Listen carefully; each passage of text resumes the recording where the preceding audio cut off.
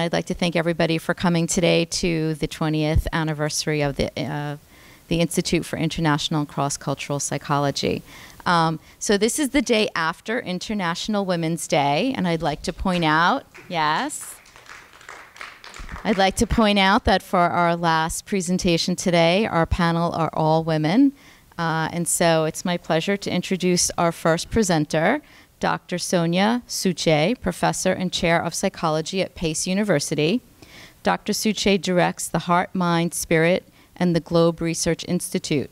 Her work emphasizes the mind, body, spirit, and culture connection and the impact of stress on the mental, physical, spiritual health of individuals. Beginning with her early, early studies on anger, her research incorporates effects of chronically stressful circumstances such as immigration, low socio- socioeconomic status, resource poor urban neighborhoods, and globalization, anger, and hostility. Anger leads to emotional, cognitive, physiological reactions which may be harmful to physical and mental health. An important aspect of anger is that it is harmful to individuals who experience it as well as the people around them, frequently resulting in acts that range from interpersonal anger to violence against individuals and society as a whole. Since anger can harm not just the person experiencing it, experiencing it, but also society, most cultures in the world have regulated anger regulated anger. Let me end that properly. Similarly, most spiritual traditions have emphasized on modeling on modulating the experience and expression of anger. Dr. Suchday's research done in the lab emphasizes all these various dimensions of anger, including how lack of material and non material resources and inequity, which are part of the immigration and globalization experience, influence the experience and expression of anger. That harm that the harm that anger can cause to the person and society, and how culture modulates and buffers its, buffers its impact. Communities studied in the lab include ethnic groups, including Indian, Chinese, and Latinas as they acculturate to the United States. Studies include adolescents, emerging adults, college populations, and community samples. Diverse methodology used in the lab includes experimental studies of stress reactivity, surveys, interviews, and qualitative studies on stress and its psychosocial correlates. Currently, there are studies ongoing on stress and health habits amongst college students and stress experienced by Middle Eastern and Asian immigrant women. International studies in the lab include studies in India, on globalization, spirituality, stress, anger, and health among college students and middle school students. Students are intimately involved in these activities, and they are an integral part of all research being conducted. The title of Dr. Suchday's talk is Globalization, Spirituality, and the Youth in India.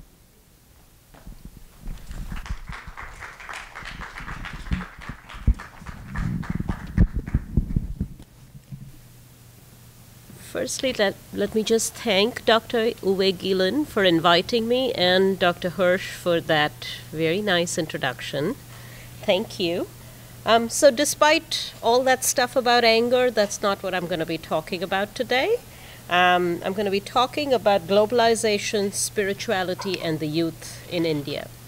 India is a young country with almost 65% of its over 1.3 billion people um, below the age of 25. Um, in the recent election, we had almost 150 million 18 to 23 year olds who are part of the voting pool. So, studying young people in India is pretty critical and pretty important. In order to understand India and Indian psychology, there is a very powerful movement within the country of psychologists who have tried to establish an Indian psychology post colonialism to try and understand the people from their own perspective rather than from a westernized perspective of psychology. And they have identified three critical elements that help understand Indian people. One is that the Indian mindset is pluralistic, um, where there is contradictory information frequently dealt with at the same time. It's part of the cultural ethos. Spirituality, it's a deeply spiritual country, and spirituality is integrated into all aspects of functioning. And extremely fast paced globalization, which is what the country is dealing with right now. The impact of globalization is manifested in people's day to day lives. It's manifested in thinking, feeling, acting, cultural perspectives on health, on different aspects of living. And what is globalization? Globalization, there are many, many different terms for it. Um, it started out from the field of economics, but for a social scientist, it is so much more than simply the movement of capital and pro- products across countries. It is about people, it is about products, and it is about processes. Um, which have a significant impact on people. They provide new avenues of growth and opportunity, but they also provide a challenge. India has been interacting with the world since time immemorial through education. There have been many, many um, accounts in remote history as well as more recent history about Indian scholars that have traveled all over the world and scholars from various parts of the world who've come to India. The trade routes, which is, you know, we know the well known Silk Road, which um, terminates in India travel, there are relics in ancient Greece which show interactions with ancient Indian civilization. Spiritual and re- religious discourses, which became popular in more recent times through the Beatles, and cuisine, the spices. Everybody knows about India and Indian spices. So, youth in an era of globalization, young people are facing unprecedented challenges. And if you categorize those challenges as much as it is possible to categorize them, they fall into two categories. One is the shifting from infectious disease to mortality due to human behavior. Unintentional injury, homicide, war, interpersonal violence so young people are having to deal with morbidity and mortality due to these factors, and they are having to deal with transitioning into being well functioning adults in a very, very multidimensional world. Um, and spirituality. Spirituality and religion are deeply entwined. Um, they are in India as they are everywhere else. But overall, spirituality is about finding personal meaning, and religion is about the social manifestation of spiritual beliefs. India is multi religious, many different religions. all of these are religious sites just in Mumbai, probably within a three to four mile radius of each other, sometimes on the same street. So it's a multi religious country. And the two predominant concepts within Indian spirituality that have been emphasized are the concept of karma, which we've all heard. It's about actions and actions having an impact on your life. Um, it's not just Hinduism, but there are many different religions that have some aspect of karma that are embedded in their teachings. For example, do unto others as you want others to do unto yourself that really is an underlying concept of karma, which is you do engage in certain actions and they will have a certain impact. Dharma is a little bit more complicated, but it also, in addition to karma, it includes concepts of duty and responsibility. Um, another part about India which is important to understand is that it's a collectivist society. So, social obligations, social norms are a very intricate part of every young person's identity. Indian lifestyles are embedded with these concepts of dharma and karma in all aspects of functioning. And the final idea that I started out with is the dualistic Indian mindset. if you look at the data on individualism and collectivism, it is extremely difficult to categorize where India stands on that continuum. On the one hand, it is a collectivist society where family is all important and the engagement of family is critical in all aspects of functioning. Um, on the other hand, um, there is a deeply individualistic philosophy embedded into a person's spiritual journey. Um, there is frequently a statement which embodies that, which says that your final journey or your soul's journey is always an individual journey, it's always alone. So it is a culture that entwines individualism and collectivism very deeply together. And this dualistic mindset has been difficult for people outside India to understand. And one way in which it has been conceptualized within the psychology literature is that it's a it's it is defined by a very very high sensitivity to context. In other words, behavior is modulated by place, time, and person. Um, hence, the internal and the external may not always be consistent with each other because the external is manifested based on time, person, and place. The current study examined lifestyles and beliefs surrounding spirituality, globalization amongst young urban Indians in Mumbai. For those of you who are not familiar, Mumbai is um, probably at the forefront of globalization. It is a um, it's the financial capital of the country and is an extremely westernized city which is still very, very essentially Indian. Um, it's possible to travel to certain parts of Mumbai and not be able to know whether you are um, in some incredibly uh, wealthy paradise somewhere, anywhere in the world, and two minutes later find yourself in the largest slum in Asia. So it's a very heterogeneous city at the forefront of globalization. It truly captures what globalization is and how it is manifesting itself. Um, amongst emerging adults in India, they face the same challenges that emerging adults do everywhere, which is career, marriage, financial independence. And however, there is a qualitative difference because in all of these decisions, there is a strong emphasis on society.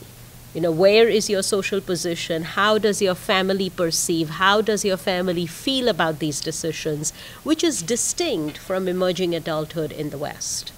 Um, so, in our current study, participants came from St. Xavier's College um, and were about 19 years old. One important thing to point out is that India is approximately 87% Hindu.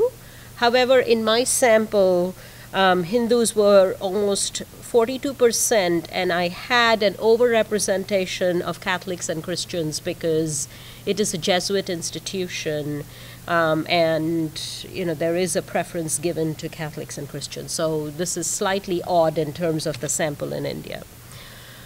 So we de- developed the life belief scales item, which was based on prior research. Previously, uh, one of my students had done her dissertation on health values, health beliefs, health behaviors um, amongst this group, and we had done some qualitative studies to figure out what is it that people believe in, what is it that they do, what kind of things do they value in terms of their own health. Um, we included items on core values and goals within Indian culture, on family, culture, uh, karma, and self. And the factor analysis of this life belief scale came up with five, with six subscales. Um, you can see them right there. The first is materialism, Second is collectivism. Third is religiosity. Fourth is personal agency. Fifth is spirituality and wellness. And the sixth is karma. So we came up with very distinct entities, which, you know, kind of, I think, capture this whole idea of globalization with collectivism, materialism, all of it panning out as being important. Um, when we correlated these, I mean, this is just showing that four of these subscales seem to fall under a more traditional perspective collectivism, religiosity, spirituality, and karma. And two of them fall under more individualistic perspectives, which is materialism and personal agency. When we correlated these with religious and spiritual well being, we then we also correlated it with interdependent and independent self-construal, which is a scale that measures individual identity in collectivist versus individualist cultures. Um, we also created a new scale where we asked people how much they identify with being Indian. Um, so it is their self identification with India. And self rated health was the other scale what we found is that traditional subscales of the life belief scale were associated with Indian identity and interdependent self construal. So, this is some validation for the scale. And it is also showing us that the essence of Indian identity, despite globalization, despite the fact that this is a young group of people that is very liberal and very much is part of the westernization and globalization conversation, they continue to still identify Indianness with the more traditional values of collectivism, religiosity, spirituality, and the concept of karma. Um, it's important to understand that it, uh, globalization was ushered in India through a very deliberate policy of opening up its doors to the rest of the world in 1991. Um, until that time, India had followed a strict policy of protectionism. However, in 91, because of severe financial crisis in the country, they were forced to open their borders to the rest of the world because till then, as a reaction to the British, India had shut its borders down because the British came there to trade and then ended up ruling the country for almost 100 years. Um, so they had shut their, their doors down. What we find is that traditions, particularly when it comes to family, continue to persist. Things like arranged marriages, joint families, as opposed to in, uh, nuclear families, which consist of grandparents, male siblings, their spouses, and their children continue to persist, traditional family roles for women, and spiritual and religious values.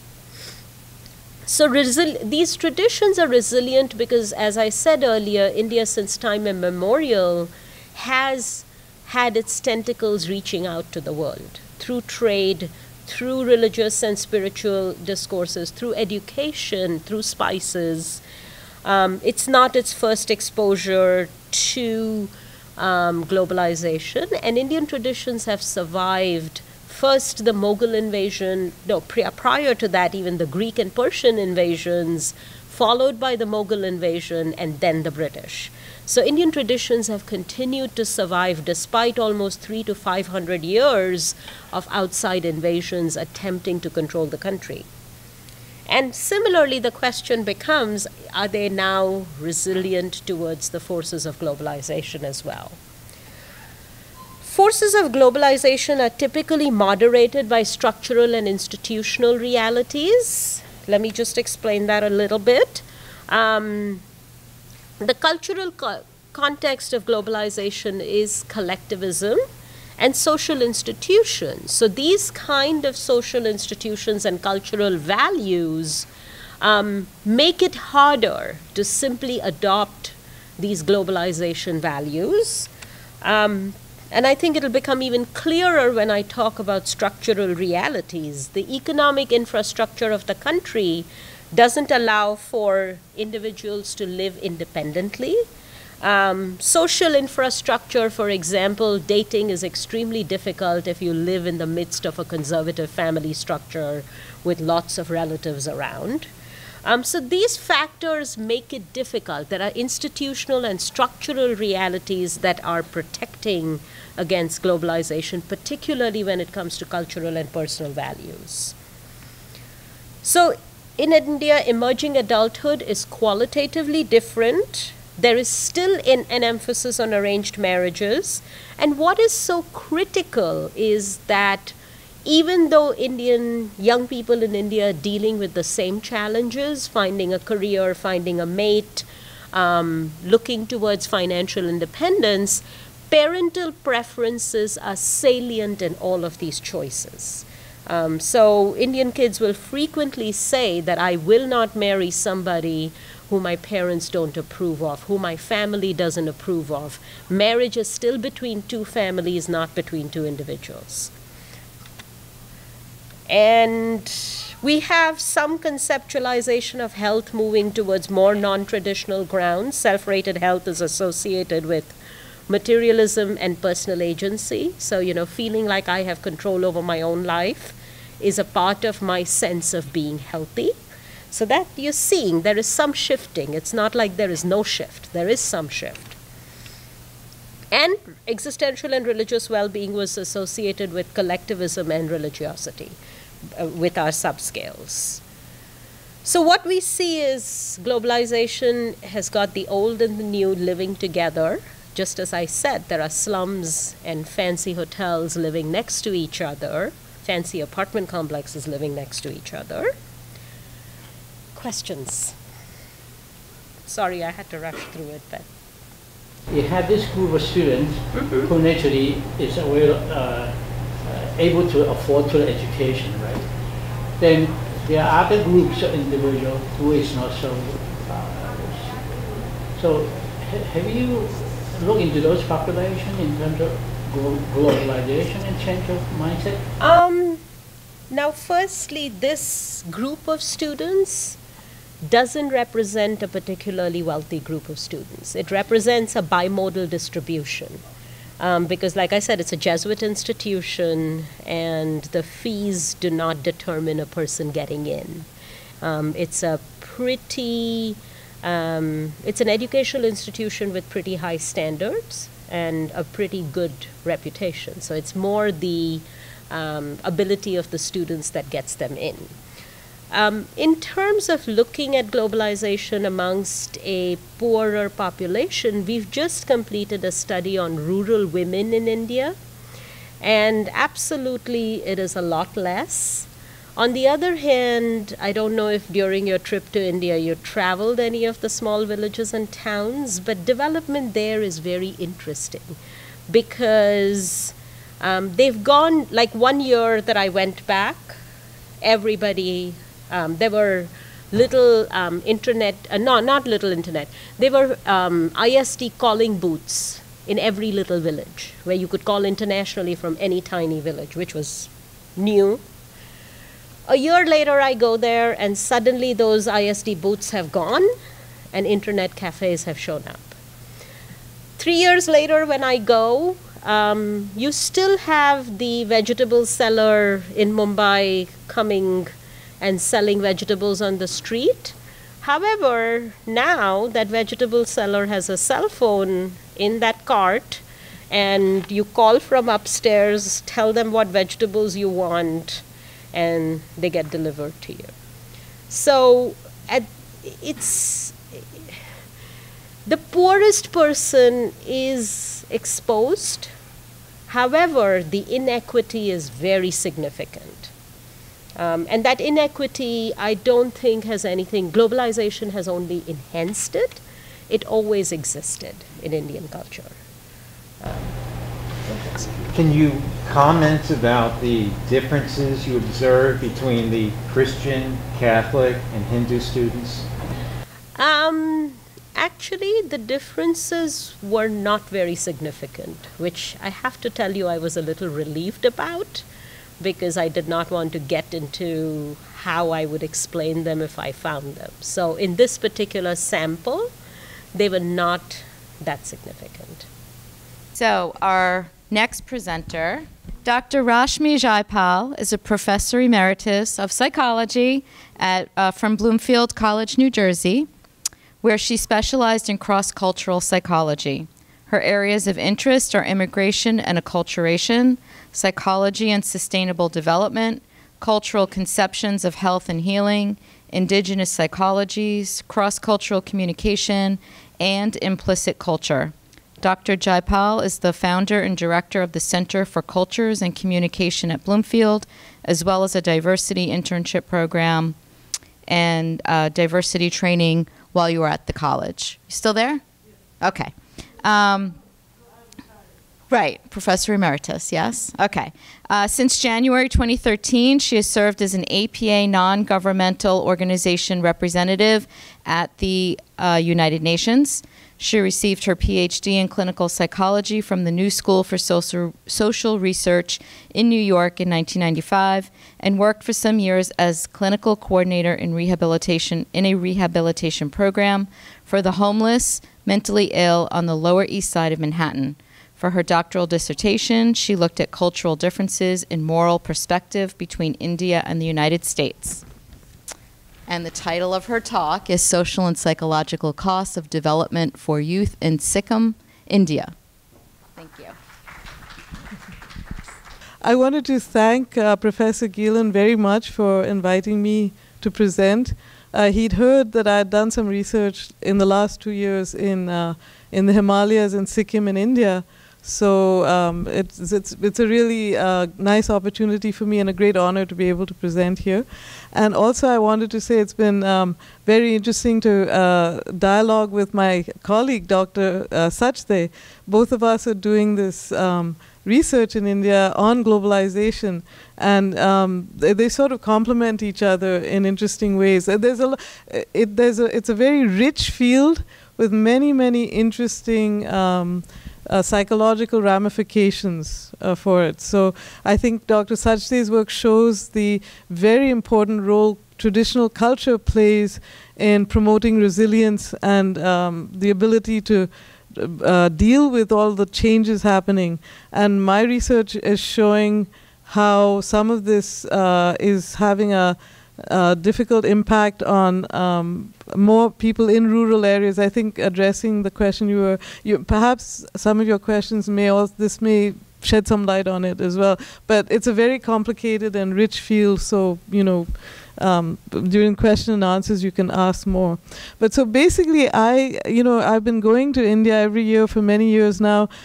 And the change is happening, like Dr. Suchday said. I mean, the changes uh, through globalization have been so rapid. Uh, it's quite astonishing to see. And also, I tend to get upset by the changes I see because also you can see the growing inequality and the complete lack of planning, urban planning, so that you will get uh, malls and, and all kinds of things uh, built that have nothing to do with people's daily lives and helping them support them. So what this, uh, what I, what my study is really about is I've been trying to look at what are some of the links between economic globalization that's hitting our country so uh, rapidly now, and um, some of the mental health, the psychological costs or consequences, particularly to youth, uh, which is again, um, you know, something that we've been looking at.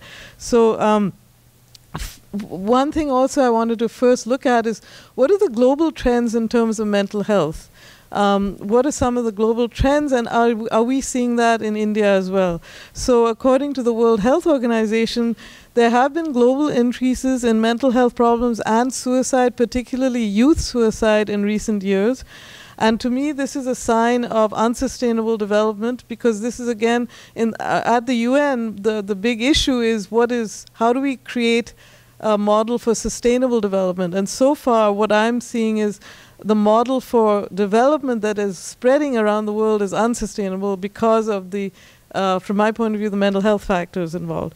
So you see in high income countries, the National Center for Health Statistics found the suicide rate in, US, in the US in 2014 had peaked in the, la- it, had, it was the highest in 30 years um, uh, and across every age group except older adults. And suicide for young adults between the ages of 15 to 29 years is the leading cause of death in both high income countries and lower and middle income countries in the Southeast Asia region. You also see, I found it very interesting. There's this massive study that's done annually in the in the UK, in England, the Good Childhood Report, and in 2016 it found that 10 to 15 year old girls in 2014 were more miserable than they were five years earlier, unhappier with their lives and their appearance, and reporting feeling ugly or worthless. And since then, the 2017 report is only more of the same, and actually it's getting worse for the, this age group of young girls. And the lower and middle income countries in Southeast Asia have the highest rate of suicide, 17.7, compared to low uh, to high income countries and the global average in 2012, according to the World Health Organization report. And in India, the youth suicide rate for the 15 to 29 year age group was 35.5, whereas the US rate for the same age group was 12.7 in the same year. So what is going on? You know, this is a question that you I feel like I have to ask. Why is this happening? Why are the youth in India, particularly and in that region, um, uh, so vulnerable to this? So the question, as I said, is why with these rising rates of mental health problems and suicide around the world and in India in particular, economic globalization uh, seems to coincide with this increase because developing countries are trying to emulate and rapidly transition to free market consumer economies, the Western model of an advanced society. Pressures to assimilate to this kind of model of development may be contributing to increasing stress levels and mental health problems, including youth suicide around the world, not just in developing, but also in developed countries where youth suicide rates are increasing. So, for South Asian uh, countries, the larger the cultural and economic gap between traditional societies and Western style developed economies, the larger the cultural distance, the more stressful the transition, which may be contributing to their higher suicide rates. That was my thinking. And um, before I get into the research, I just wanted to show you how India, what, what development is hap- what kind of development is happening in India. It seems to be very une- uneven and non-inclusive development. India is churning, I feel. It's like cities are seeing an increase in the development of malls and slums with no adequate infrastructure, water, and electricity. And as Dr. Suchday is saying, a huge increase in communications technology in the last 10 to 15 years. Uh, you know, rampant growth in cell phone towers, satellite dish TV, cell phones, internet, social media. Villagers in rural areas have cell phones and satellite dish TVs, but no toilet. Um, they because of course women's needs are not seen as that important anyway, and they don't have basics, water, healthcare, sanitation, but they will have access to the global media. So this is what I wanted to study.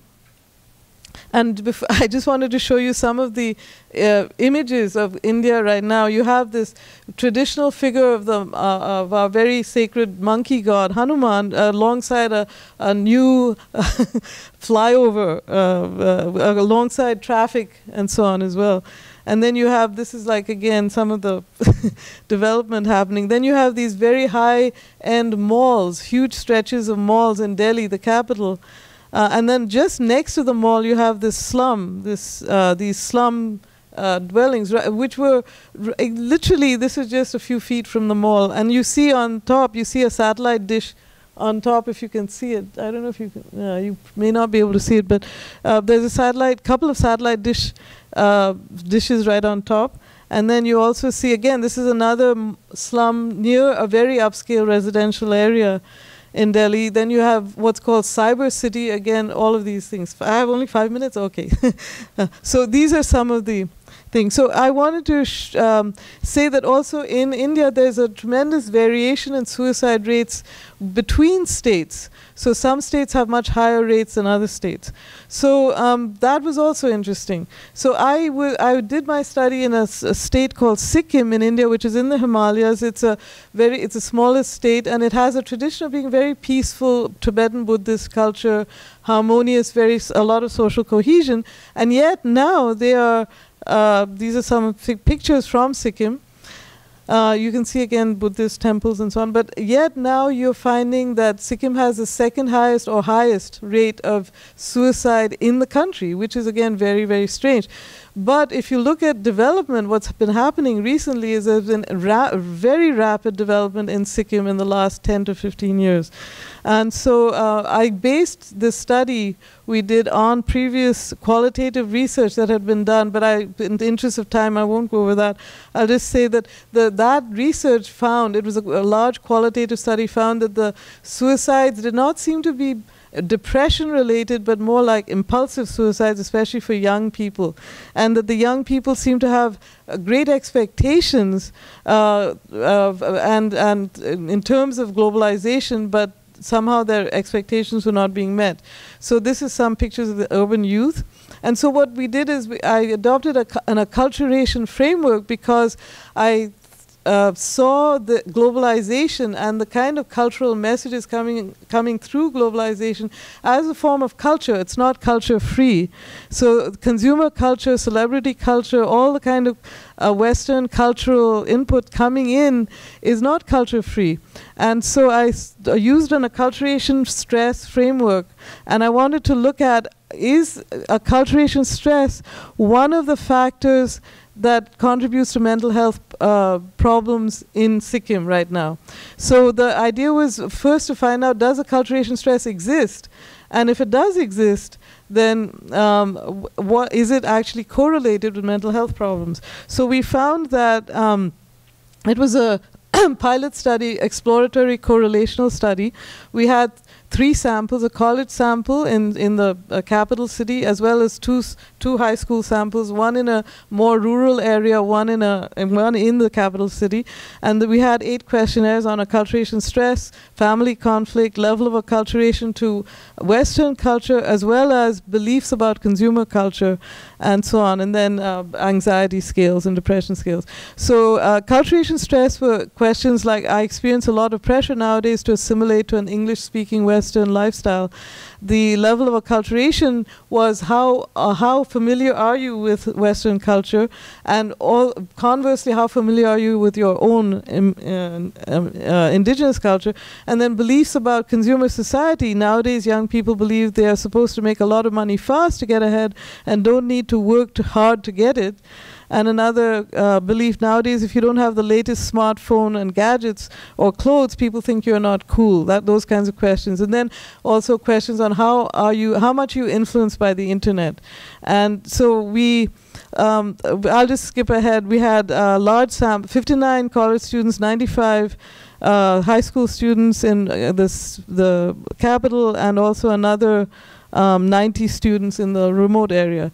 So this was uh, the data collection, and the results were that we found, first of all, acculturation stress does exist which which was interesting because how we measured it was based on those questions, and, and we find that not only does it exist, but it's moderate to high levels. It's quite pervasive among college students. It was not uh, that pervasive among the high school students because actually they were relatively sheltered. They had a very strict kind of a schedule, and so they didn't couldn't uh, access the internet as much as they would have wanted to. We also found uh, anxiety. There were moderate to high levels of anxiety in about 30% of the college college students and in the high school students as well, 16 and 13 percent.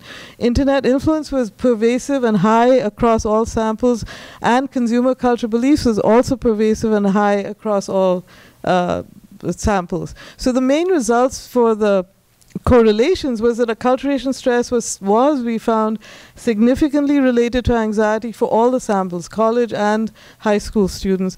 It was significantly related to anxiety. So acculturation stress existed, this pressure to assimilate, but it was also, and it was significantly correlated to anxiety and also to the internet influence, not in the college sample, but for the high school students.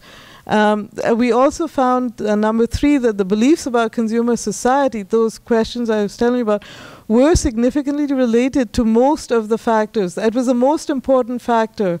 The pressure to assimilate to consumer culture was significantly correlated to acculturation stress for all the samples, to family intergenerational intergenerational conflict for all samples, and for the in, and also to internet influence for the high schools, but not the college samples. Um, the level, what was interesting was the level of acculturation, that is how familiar you are with Western culture, was not uh, that important. What was important was the pressure to assimilate to consumer culture, not the pressure to assimilate to English speaking Western culture, which I found very interesting. Because in, uh, in the past, there, there was pressure to assimilate to, to uh, English speaking Western culture was a pressure. Now it seems that the main pressure is coming from consumer culture pressure. So you can actually buy into Western culture and not experience it as a problem. Eh, The problem is really consumer culture. And what happened also was age differences. We found that the people most vulnerable to this consumer culture pressure are the young, the kids, the college students. By then, have also the college sample we. Um, and uh, looked at was uh, social sciences, critical thinking, sociology students. So they were also uh, in their college classes were being taught about globalization and its negative effects. So they may it may have had less impact on them through the internet. They also probably are much more um, much more able to navigate the internet influence and uh, which one which websites they want to look at. Whereas the children seem to be exposed to a flood of information coming in and they're not able to they don't know how to handle it. So they're much more we found susceptible to acculturation stress uh, from consumer beliefs. Because as age increased um, uh, the acculturation stress and consumer beliefs uh, decreased. Uh, gender differences were mild but seemed to suggest that women were more vulnerable than men. So um, basically the main points are that uh, culturation stress exists, that it was related to anxiety, and in the high school students also to depression. So it's related to common mental health problems, and um, thr- internet influence is also related to internet influence, and that especially through beliefs of consumer cultures, and that uh, basically.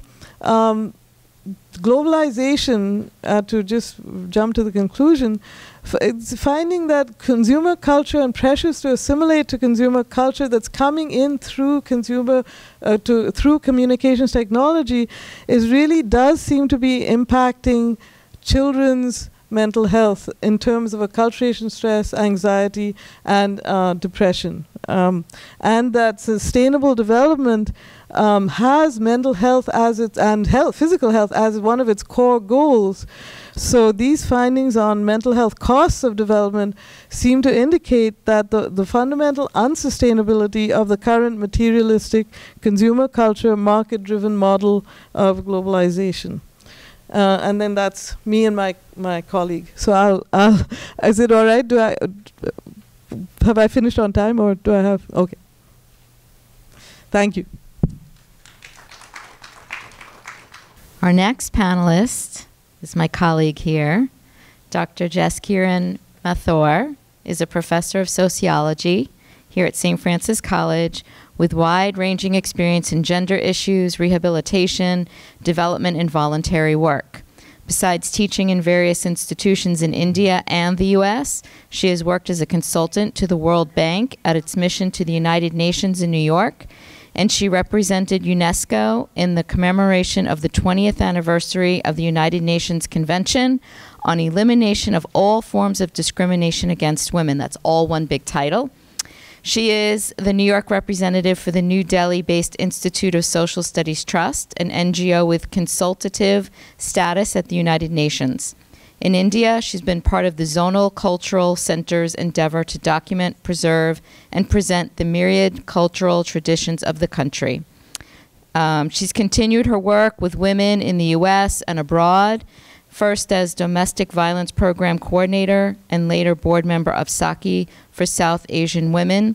It's a nonprofit organization in New York where she continues to volunteer her time for advocacy and outreach efforts.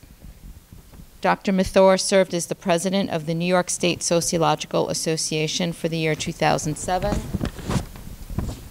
She's an associate member of the Standing Panel on Social Equity and Governance, formed by the Washington based National Academy of Public Administration.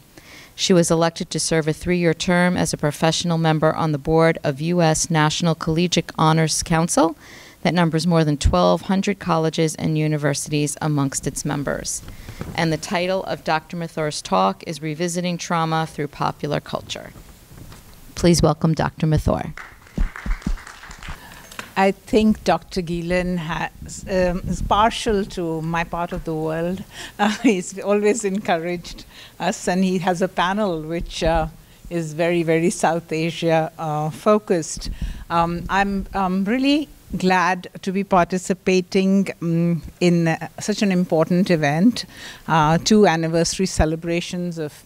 Um, you know, enterprises and efforts that are very, very meaningful in the world that we live in today. And uh, I um, have uh, uh, what I'm sharing with you today is uh, something which is a work in progress, more um, like um, something which I have been thinking about quite seriously. Uh, com- bringing together two things which are one, the very, very successful and prolific visual uh, you know, visual culture, which um, is communicated through films. Uh, India being uh, a country, yeah, India being a country. Can you hear me now? Yeah, India being a country which uh, produces the largest number of films, uh, and we're not talking about necessarily all of them being phenomenally qualitative, but yes, the good, bad, and the ugly, but the largest number of films. And the subcontinent, the Indian subcontinent, having been through um, uh, an experience which is uh, quite phenomenal in terms of, again, because one sixth of the world's population, uh, plus um, one sixth of the world's population, uh, resides in that part of the world. But uh, an experience about 70 years ago, which uh, is very, which is sort of in um, the mind of the people an ambivalent experience because um, it is really the ecstasy of uh, freedom from colonial rule and the agony of what was the partition of the subcontinent. And um, what um, interests me, and there's a concern and a conundrum for me, is that uh, while um, multiple efforts have been made to deal with the trauma uh, of partition um, in various cultural forms or genres. Um, somehow, this uh, very, very effective and um, uh, popular form of uh, cultural representation, which is film, which includes both television and film representations, uh, has not uh, dealt with this particular trauma um, as as effectively as it could have, or has not taken it on as subject matter um, as often as uh, one would think um, it would have. Um, we definitely have some representations uh, which exist earlier, but it's only in the seventh decade of India's independence that we see um, a greater representation and more conversations about um, about this particular experience, uh, which is, of course, uh, experience which um, engulfs uh, the minds and hearts of the people in that part of the world, and has set the tone for much of what has been happening ever since. Um, we, uh, you know, we may not talk about it overtly, but uh, there has been some representation in all forms of literature, in forms of, uh, you know, music, in forms of um, uh, literature, especially in poetry, the novel, um, you know, short stories, and even um, uh, performances uh, of drama and theatre but it has been more in terms of the individual experience. People have often talked about individual stories and individual experiences, and of course, we know that they are in the context of a much larger, almost incomprehensible social fact that existed and that happened. And uh, um, definitely, there were certain parts of the country which were more severely affected, but the whole country seems to be still uh, recoiling from that wound. And um, it does not seem to have been completely healed. That's why um, my, some of my, uh, you know, um, predecessors, earlier speakers have mentioned um, this globalizing India and the modernity which India has been affected by. And we talk so much about um, the economic aspect of globalization, and um, I would just want to redefine uh, uh, your definition of globalization and add an element to it. That globalization is, of course, a great, you know, very, very a rapid movement of people and goods, but it's also a very rapid movement of ideas across the globe. They're sort of zipping across the globe with, with the modern technology that we have. And much of uh, the second speaker's concerns also um, really are uh, uh, an outcome of that particular phenomena that's taking place. Recognizing a backdrop of what India has already been provided, so I don't need to go into that. Uh, it's a very complex society, it's a multilingual, multi religious, multicultural society, and uh, everything from the first to the 21st century coexists over there. And uh, there are variations in terms of their urban rural divides, their linguistic divides, their religious divides, their caste continues to play a big role. Class is an ever polarizing factor which exists, and these uh, differences have become really, really acute. In the midst of all this, uh, and in what India prides itself on this very that it is a sort of um, a, you know major um, sort of player in in uh, in the world today, and it is fast globalizing. Somehow, very surreptitiously, um, a very deep kind of uh, uh, non-analytical, but a very stereotypical and biased, prejudiced mindset has also emerged. We notice increasingly in this democratic, diverse country that there is a an increase of what is the majoritism which has come into being. The present political powers that be seem to be uh, propagating majoritism with impunity. And, uh, um, and this very uh, well equipped and young nation, um, and a nation with a very long history, and of course nobody ever learns from history that's another story but is not being able to not was sort of was caught unawares, and this nemesis has caught up with it and uh, doesn't seem to be um, questioning it, or there is doesn't seem to be enough uh, concern about it. And why I am concerned about, like I said, it's a work in progress. I don't have any conclusions as yet. But my concern is that if we have dealt with this very, very effective, if, if we have used this very effective medium to deal with all other kinds of issues and very spontaneously and very quickly because we know the power of this medium, we know how effective it is in terms of communication, we know how effective it is in terms of propaganda, we know it's good for indoctrination. We also know that it is something which is very quick in uh, sending messages and also raising questions. How is it that the partition doesn't get dealt with in terms of and looking you know, sort of reflective account of the people. We have looked at the independence movement. We have looked at the leaders. We have looked at, um, we, have done a lot of blame game as well. We have said, oh, so and so is responsible. If it wasn't for this decision, this would have happened. Or if uh, it wasn't for so and so person, this would have been the direction that things would have taken. We have a lot of nostalgia about the good old times and the way it could have been, etc. However, I suspect, and uh, this is something I'm expressing and but working on, is that I think that what is really, really bothersome and why this medium hasn't taken it up is because if you are talking about the people, not persons or individuals, not communities, but the people of India, and uh, earlier, a speaker today brought up a very interesting phrase which Shakespeare has used about um, you know, um, uh, which comes from Hamlet of, um, you know, uh, the paragon of animals, this human being, the paragon of animals. Uh, I think the very humanity of human beings is in question. And I think that is what is being avoided.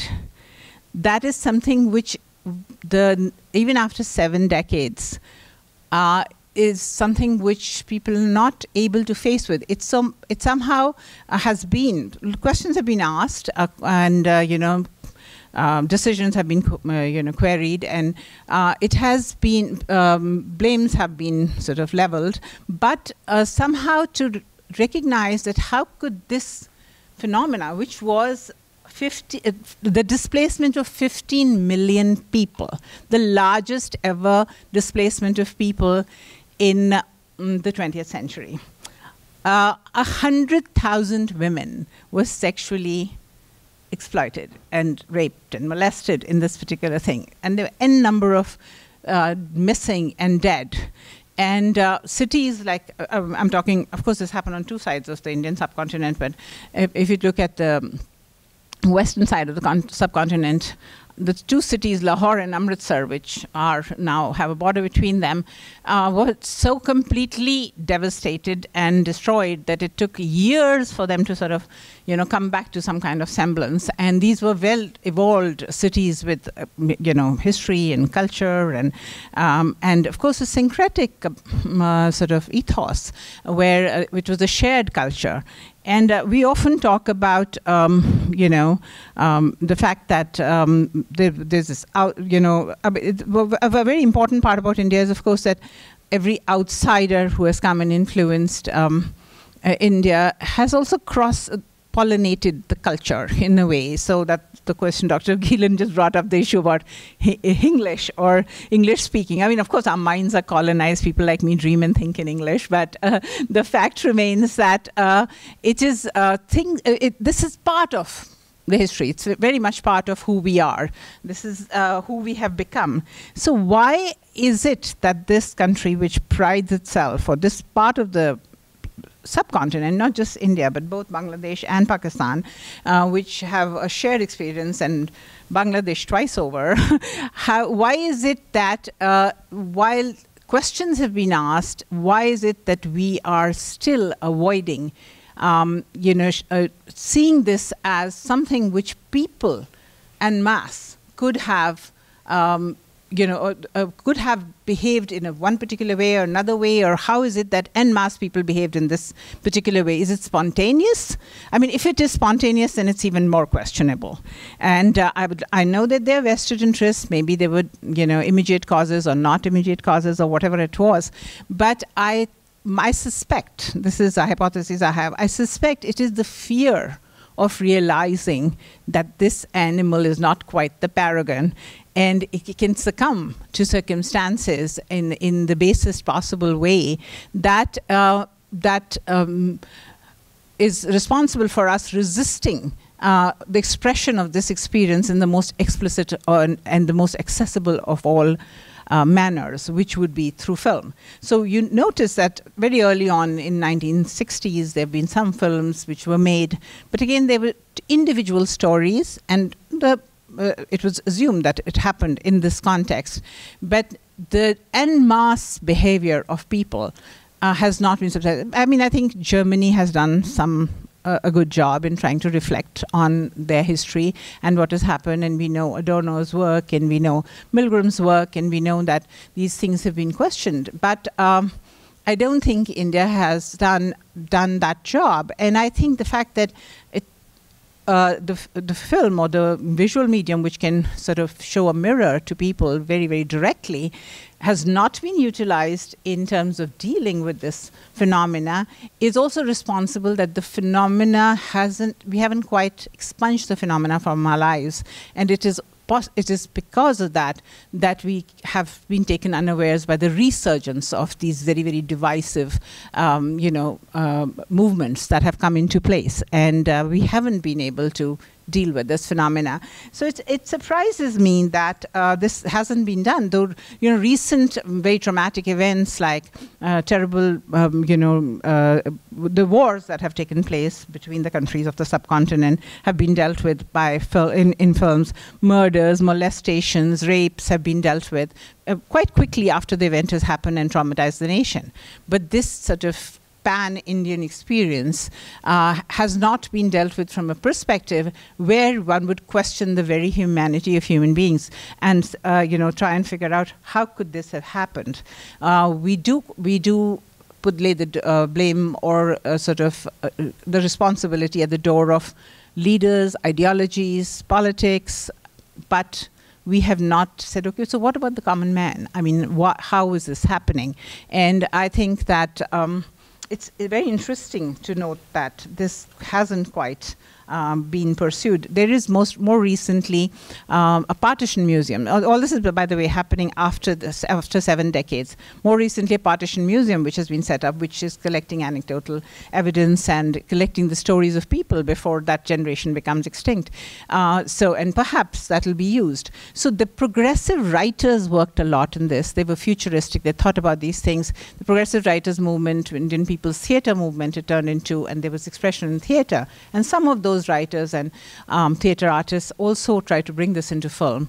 But um, I am quite a film buff, and I have been watching uh, films which are very, very successful in India, and uh, television dramas which are very successful, way ahead of Indian efforts in Pakistan. And I see uh, that it's only in the seventh decade of independence that we see a more frank um, analysis or expression or um, you know encounter with this experience, uh, which is remains unresolved, according to me. And I think that this medium could help uh, deal with that experience, come to terms with that experience. Thank you for your attention. Our final presenter today, another colleague here at St. Francis College, is Ghazala Afzal. Um, she obtained her master's and uh, master's of philosophy in English, literature, and language at the University of Peshawar, Pakistan. After teaching at Nisar Shahid College in Pakistan, she taught at the Department of English at the University of Peshawar for eight years. She received a master's in writing and composition studies from LIU Brooklyn and taught composition and literature for many years as an adjunct professor at LIU. She also taught as adjunct faculty at the State University of New York's Harry Van Arsdale Center for Labor Studies. She's worked at St. Francis College since the year 2000 uh, as a tutor, a full time ESL and remediation coordinator, and as an adjunct faculty member in the English department. Um, and the title of her talk is Afghan Women trails, travails, and creative expression. So thank you, Dr. Gielen and uh, Dr. Hirsch. Uh, Dr. Hirsch for the introduction, Dr. Gielen for inviting me uh, to present at this event. Um, so happy to be here. My presentation is uh, mostly anecdotal, more or less ethnographic, based on my own observation. It's not a research paper uh, because I'm not that actively involved in uh, research anymore. So, my own observations, my own experience, and my own knowledge of the native Afghan Pakistan history is what this presentation is based upon. And while you patiently hear me, uh, there are some slides here for your delight. This is Afghanistan forever, since before invasions, and perhaps still today.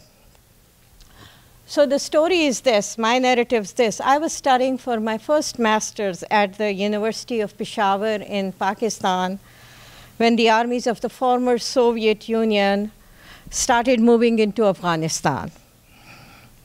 Peshawar University was then located in the outskirts of Peshawar to the east, literally less than 30 miles from the Torkham border that separates Pakistan from Afghanistan.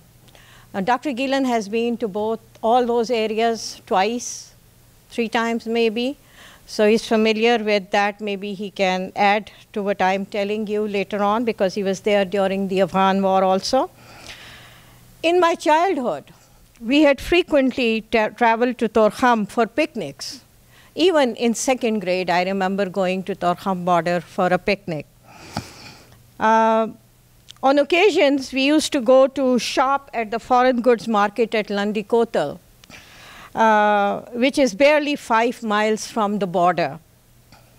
Peshawarites used to travel to Afghanistan for their summer vacations to attend the annual Jashn-e Kabul, the famous Afghan festival on 19th of August, at which the best artists of South Asia, the entire South Asia, were invited to perform. And the festival is still held today. With interruptions, it's still held today.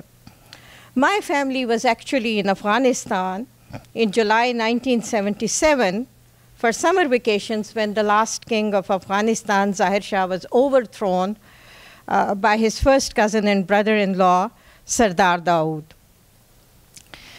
This is Kabul before it was totally destroyed.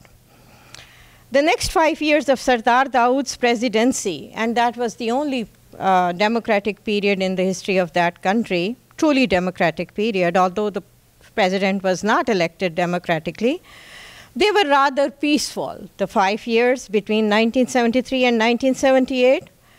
Um, and it seemed at that time like I was in college at that time, so it seemed like Afghanistan was now on a totally new path of progress and enlightenment. But those hopes were dealt a terrible blow when Sardar Dawood uh, was overthrown. Um, Nur Muhammad Taraki, leading Saur revolution, assassinated the president and almost entire family establishing the first semi socialist government in Afghanistan. This uh, revolution, Saur revolution in 1978, March of 1978, was the beginning of the chaos, the turmoil that has lasted in the last four decades, with various stakeholders at different times. The rivalries and the, pol- the politics continue on the national scene, but the life as it was lived in Afghanistan until then started changing at that point in dramatic ways. And that is what I will talk about. I wish to briefly mention the ethnic and religious makeup of Afghanis at this point, their religious affiliations, because they play a key role in the situation that that country is in. Major groups in Afghanistan are the Pashtuns, I'm myself a Pashtun, the Tajiks, the Hazaras, and the Uzbeks, which have very close ties, blood ties, geographical ties with the states in uh, Central Asian states, with the Central Asian states. Major and official languages in that country, there are many, but official languages are Pashto and Dari, which is a dialect of Farsi. And these languages, since we were talking about languages earlier also, uh, they are big dividers. Uh, although majority of people, a good number of people speak both uh, languages fluently. 99% of Afghanis are Muslims, with 87% being Sunnis and 12% being Shias. Again, you hear that conversation. Iranians are majority Shia states. Saudi Arab is Sunni, the extremist Sunni faction. And these figures that I presented, they come from Asia Foundation in a study done in 2012. Another big cause of strife is this religious divide. Interestingly, I found out that uh, from 2016 figures that Dari and Shia school of thought are gaining uh, more ground in Afghanistan. That's very strange. I myself was baffled. This background was necessary because that helps understand what reasons beside the Soviet invasion were responsible for the biggest movement of refugees in modern times. More than 6 million Afghans escaped war and the onslaught of the red infidels. Red infidels were the communists. Um, I must also point out that this is a region that Alexander of Macedonia, Alexander the Great, sometimes called, had steered clear of during his campaigns. He took the Persian Empire some of his troops went into what is Pakistan today, but they largely steered clear of Afghanistan because his general had heard stories, some accounts say his generals had heard stories of these wildly independent and fearsome people. Later, the Afghans defeated the British three times in the 18th and 19th century. The last Afghan war against the British was fought in 1930s, and the British were defeated in all these wars. Actually, the Jashn-e Khyber, the Jashn-e Kabul, sorry, on 19th August is a celebration of those defeats.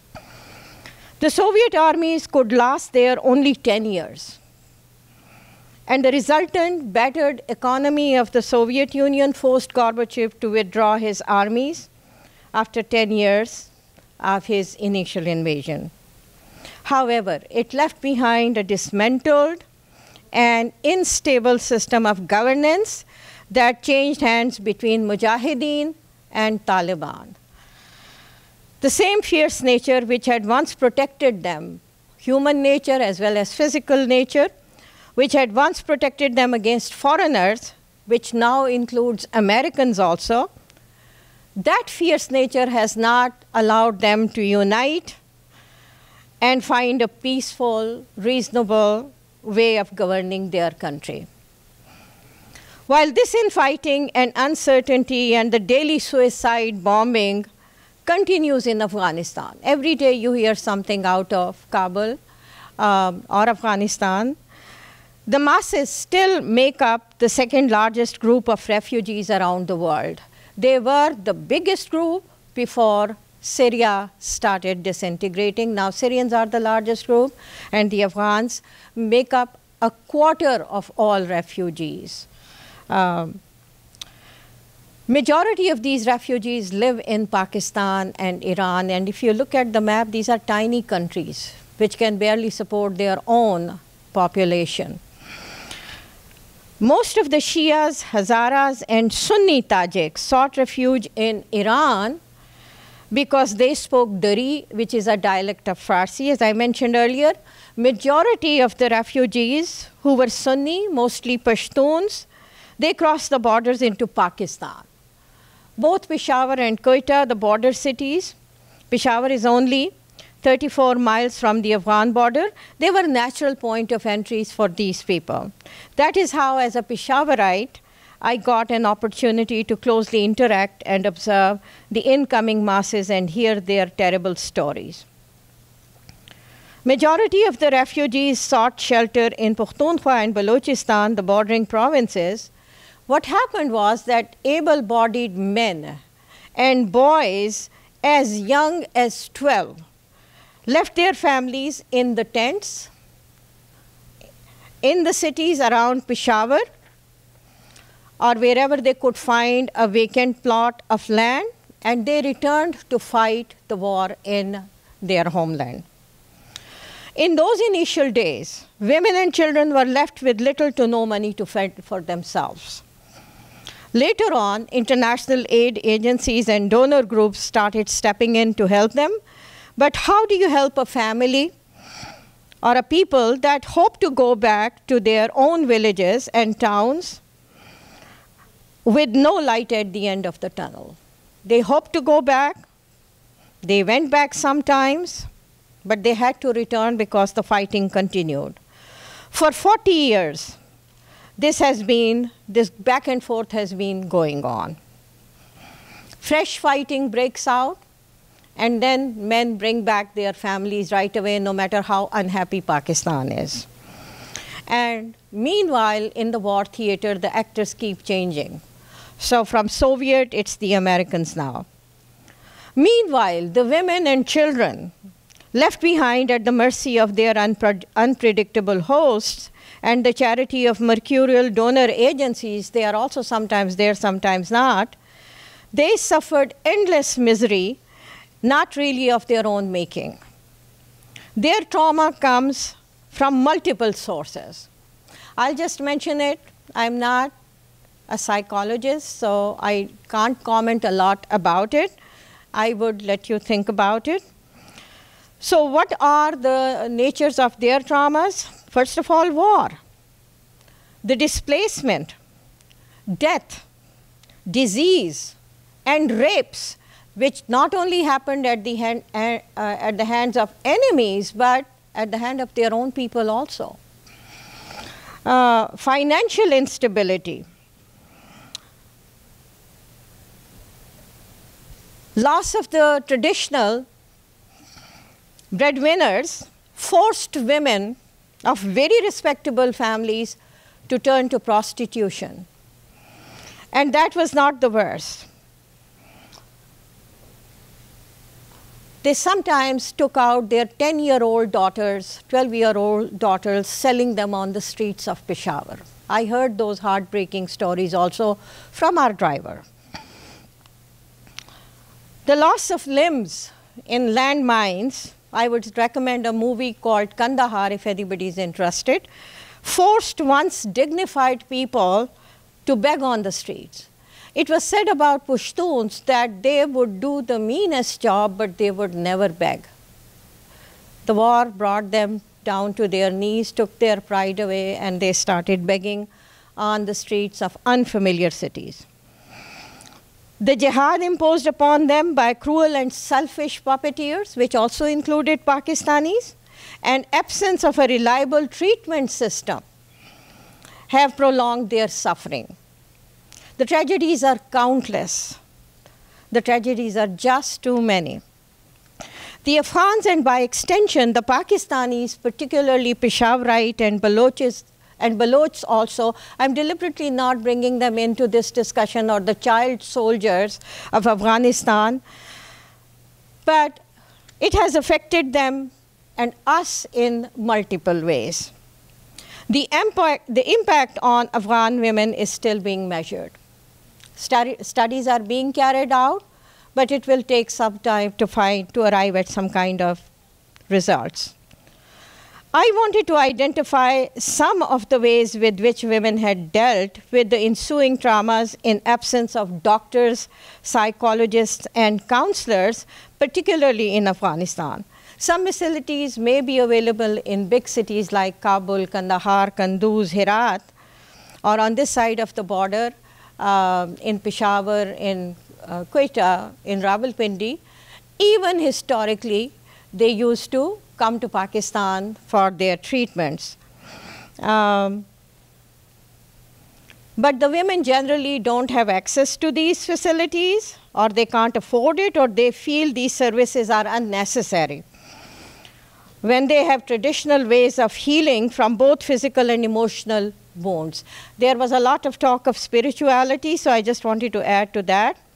Unscientific though these may be, but most of the time they have turned to century, centuries old customs of remembering, of addressing and documenting their pain quietly in embroidery, recorded eloquently in oral histories and national and personal narratives, or sing fiercely and defiant, defiantly in songs and poetry. I still have material, so I don't know. I'll continue with the slideshow.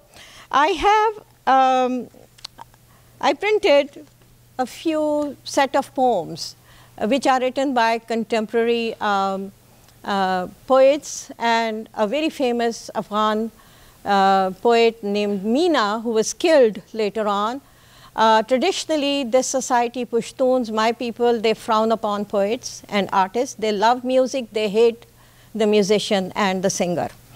Uh, so they would not want your, water, uh, your daughter to marry a singer. But they love music, they adore music, and they love to dance. That's a contradiction. So their daughter, out of the question.